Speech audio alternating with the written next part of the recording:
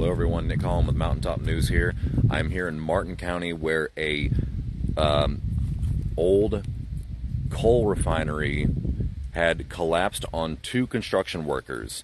They were going to the site to inspect it because it was slated for destruction, and in the process of inspecting it, the building collapsed and left both of them trapped.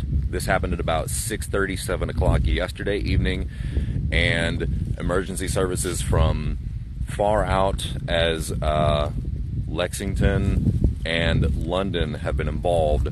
Um, trauma doctors from Pikeville Medical Center attempted to crawl into the rubble by themselves and uh, just try and provide any kind of relief, any kind of help that they could to the two trapped individuals. And one of them was able contacted by emergency services and first responders, and ultimately he had passed away in the rescue process. As of right now, there is still one other individual trapped in the rubble, and they are attempting to get him out right now. Um, I had just spoken to the Martin County Sheriff, and from the way things seem, options are limited. It's a slow and methodical process. It's going to take several hours.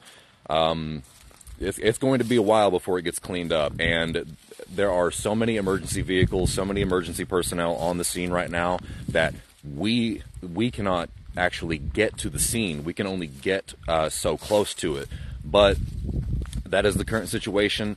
Uh, we will have an update on this as it develops. Uh, stay tuned. I'm Nick Collum with Mountaintop News.